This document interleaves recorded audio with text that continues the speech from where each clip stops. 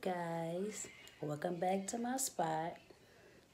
Come in welcome have a seat grab all the stuff you need and guess what? Let me show y'all my outfit of the day. Mm.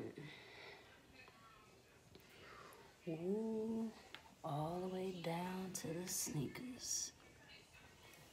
Y'all know how i do. Welcome. What's popping guys? Welcome back to the spot how you guys doing on this lovely day? I am great. Thank you for asking. I know, I know, I know, guys. It's been a minute. It's been about a couple of weeks or so. But I didn't give a definite schedule, so, you know, y'all can slide in. I'll be, you know, coming on here. I don't know still. No schedule, just so y'all know. But just look out for the videos. You feel me? I'm gonna get it together. But let me tell y'all what I'm eating tonight or today. I mean, Panda Express. I got some walnut shrimp and I got orange chicken and I got some lo mein. I don't know if I pronounced that right. Lo mein, la mein, la mein, whatever it is. I got that. So, what I'll be um what we'll be, you know, talking about today. I got some more questions from the homie Karen. Appreciate you, Karen. And I also want you to know that I didn't forget about you or I didn't want to answer your questions. Like I said, I'm very transparent. You can ask me whatever you want to ask me. That goes for anybody. Whatever you guys want to ask, ask. You feel me? I mean, for the most part, I don't know. I don't think there is really nothing that's a part of my life that's too personal, to be honest. But but I appreciate the appreciate the support and the love from Karen and everybody else. But I just say her particularly because she do, um, you know, ask me questions or whatever something she want to know. She's just not afraid to ask, which no one should be. So make sure, guys, you ask. If there's anything you want to know, just ask me. So I got some more questions today um, to answer that she wants to know. I'm pretty sure that you guys want to know too. Um, the first question she asks, do I want to have kids? I have answered this question before, um, but I don't mind answering it again because, you know, I'm sure most of you guys probably don't know, but um, at this point in my life, no. I did want kids before, but I wanted them for the wrong reason. Mm -mm -mm,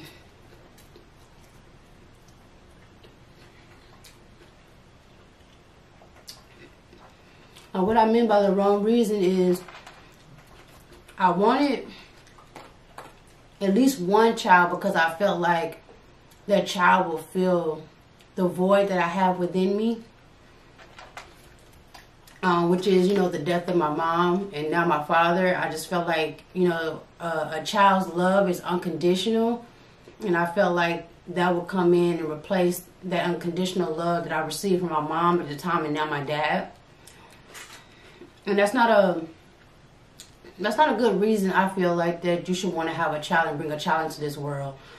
Cause honey, this world is tough. It's tough. It's tough, you know. Um, but not in this, not at this point. But I mean, if it came along and like something happened, I had to take on like the responsibility of a child or something. I, I can't tell turn a child away, but just on my own personal, no. Um.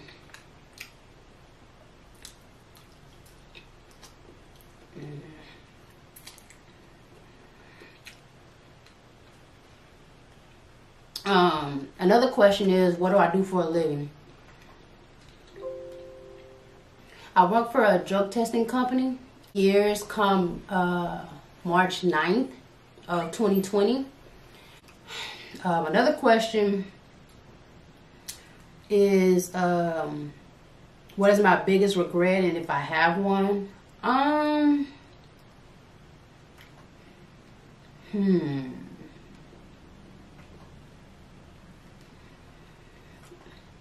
I don't know. My my perception on regret now has kind of changed and and uh, think it has evolved. I used to have a lot of regrets, but when you mature, they don't really you don't really look at them as regrets. You more so look at them as poor choices, poor decisions, and they're they're you go through them to be taught a lesson or lessons. So.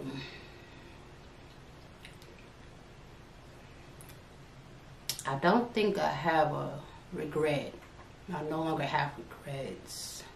I want to make sure though, but I don't think I have any. Um,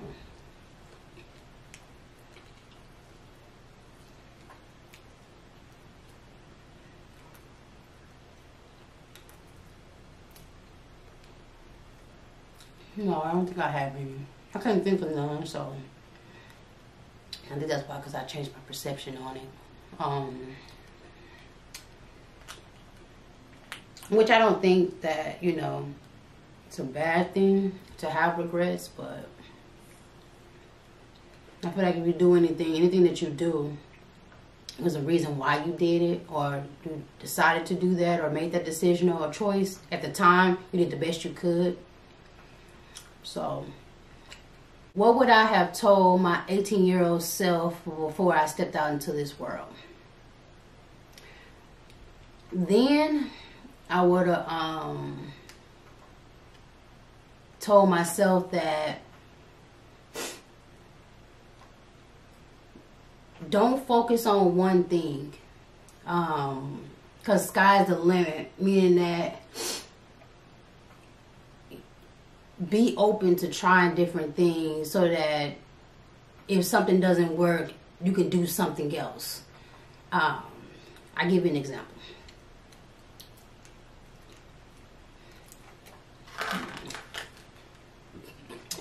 drink some wine, guys. It's a little dry.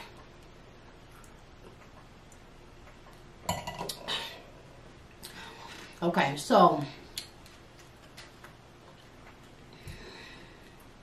when I when I um was young, I was taught to play basketball since I was like in the second grade.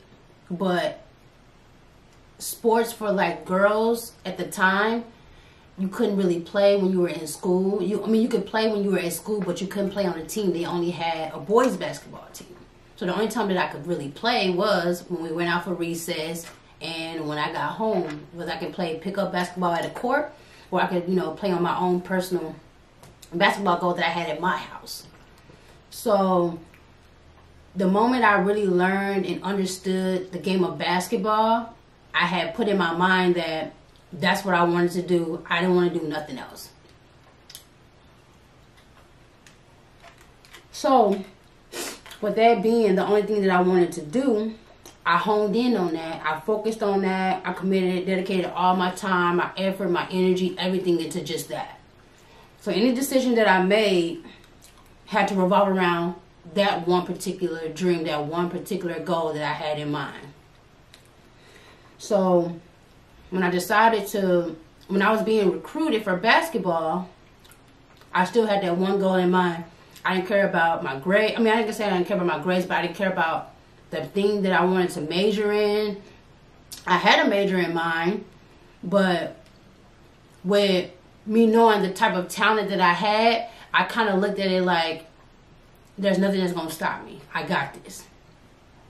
So, I BS the SC, the BS, the ACT, the SAT.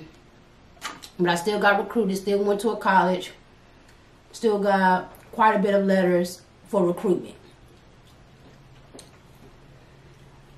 But I get to a college, I sign with a college.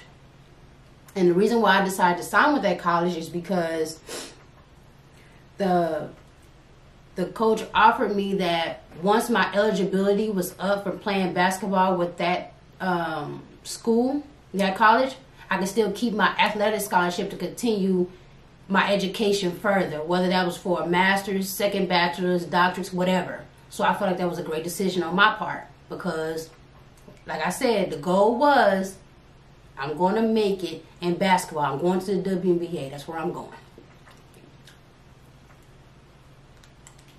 Well, I wanted to be an engineer. But the college that I decided to sign to with that offer, they didn't offer that that um, engineering at the time, so I just picked whatever degree, just whatever. I kind of just went with whatever. I didn't focus on what that degree was because I already knew going to the WNBA. Well, playing ball, playing ball, playing college. I mean, playing college ball, doing well, steady rising, steady. You know, being talked about. Um, I was I made the newspapers when I was in high school, in my hometown, Dallas, Texas. Um, I made the newspapers and stuff when I was in college. I had people coming up to me every time, every game, getting my autograph, got posters, the whole nine, taking pictures. Like I ain't gonna lie, y'all, I feel like a celebrity. But I didn't take in consideration that how important I was to my team. I just was doing my, I felt like I was doing a job to make sure that as a team we stay cohesive and we work together so that we can get that win. I didn't realize like my true talent or how important I was to a team until I broke my hand, which is my fourth well my fourth metacarpal on my left hand. And this was during my senior year, and I was, you know, I was doing really well that season too. I was doing well. I got I got awards. I got all that. I never took an account that I could get hurt. Because mostly you think about injuries like your Achilles, your your ACL, your MCL. Um, what else is something that's major? It could be like your collarbone, like something that could affect you from actually performing. I didn't think nothing about the hand when that's just as important. So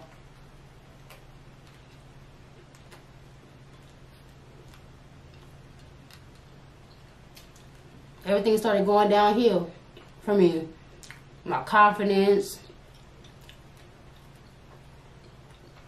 my self esteem, my ambition, all that. I thought my life was over. So I didn't care to do nothing else.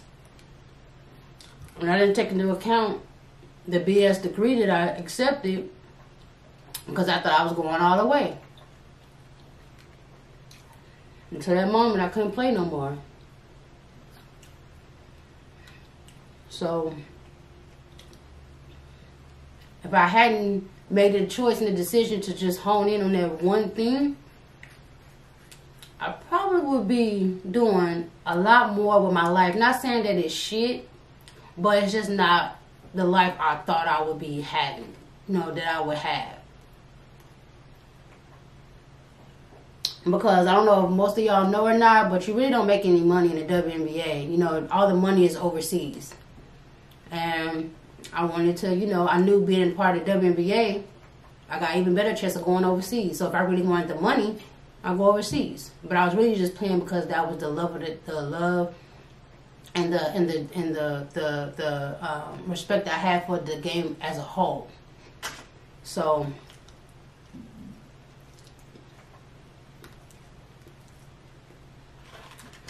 If I hadn't been doing, if I hadn't been thinking like that, I would have accomplished a lot more in my life.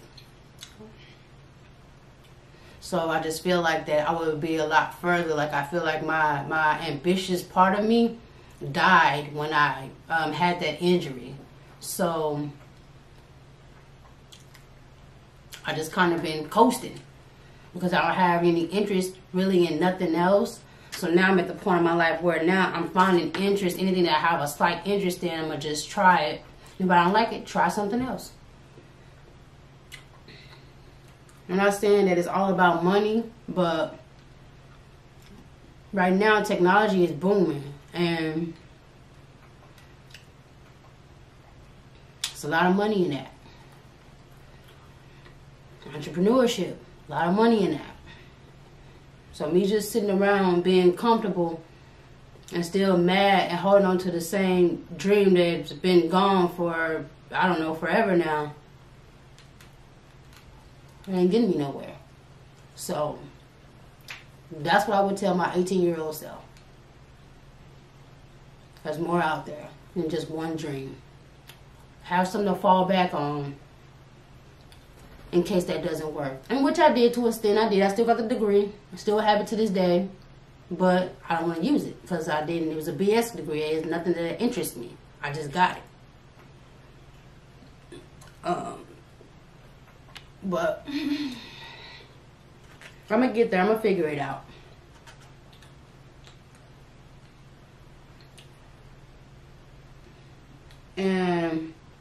And the last question that she asked is What is my fondest memory thus far? Now, this is going to sound cliche. Um, and I've had a lot of dope memories.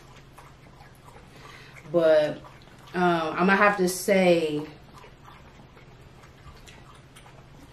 my fondest memory will have to be um, I'm about to say meeting Darnisha. I'm gonna tell y'all why. Then I'm gonna have to tell y'all why.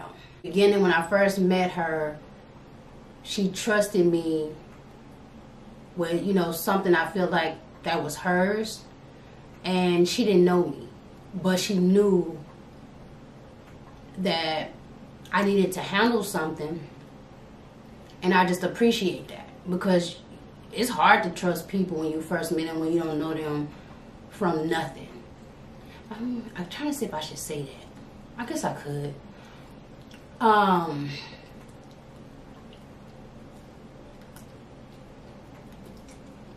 okay, I can tell. When she met me, I didn't have a vehicle because my license was suspended. And my license was suspended because the that the whole time that I was off away at college, I left my car um, that was left to me from my mom when she passed there so that my sister could have a way back and forth to drive. Well, while it was in her possession, there were some tickets got put on the car. I'm um, not saying that it was her fault or she had anything to do with it, um, but the car was still in her possession, regardless to who drove it and got tickets on it. Well, I didn't know that they had gotten tickets on it, so they um, suspended my license. And I would have never known that because um, I went to college in Iowa. I still was able to transfer my Dallas um, license to Iowa license. Had no issue. They never said anything came up. Well, when I get back to Arizona, I tried to switch my Iowa license to Arizona that's when I found out that my that my license was suspended and I needed to pay them tickets off before I can get them reinstated. So she didn't know any of that until I, you know, I told her. Of course, I communicated that with her why I didn't have a job. I mean, uh, have a car. So she said, "You can use mine." And this girl didn't know me for maybe only a couple of days, a week the most. She allowed me to use her vehicle. I go to the driver's ed I take the test, pass it of course, the driving and the written. I to redo all of that. And I got my license that same day. Now I knew she had to, um, I did take out work to do this because she allowed me to do it, to take use her car. Uh, once I, you know, I took her to work, she allowed me to drop her off at work and to keep her car. I don't know anybody that would do that for just somebody they don't know. Something in her must have told her that she could trust me. That is my fondest memory because I would not have my car, my license, and everything if she hadn't came along and trusted me. Because I had people in my life prior to her that still didn't want to see me do that because I don't really know. I think it's because they wanted me to continue to ride with them, drive them around, whatever you want to call it. But I appreciate her doing that for me, you know, because she didn't know me. And I feel like that says a lot about her as a person and her character. And that's my fondest memory.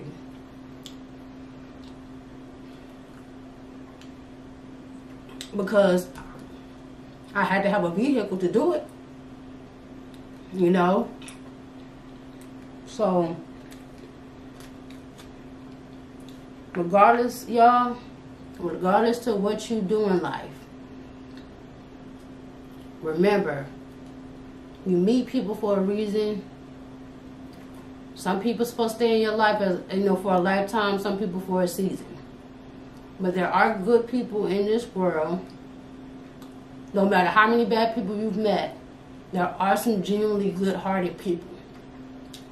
Of course, she's one of them. I'm one of them, and there's many more. But we out of time, guys. I'm full.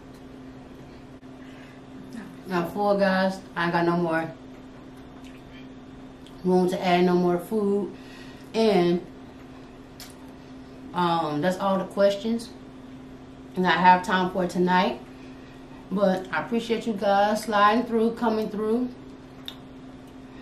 And remember that anything you want to know, anything you want to ask, comment below. That's fine too. But make sure you like, comment, subscribe, share to your friends or whoever you associate with. You know, if you or them are interested. And I appreciate your time. Make sure y'all have a good night.